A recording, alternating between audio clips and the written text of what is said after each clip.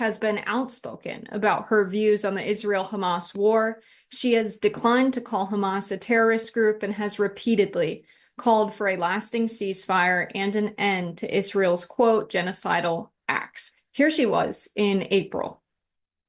We are here. Stop, stop the stop.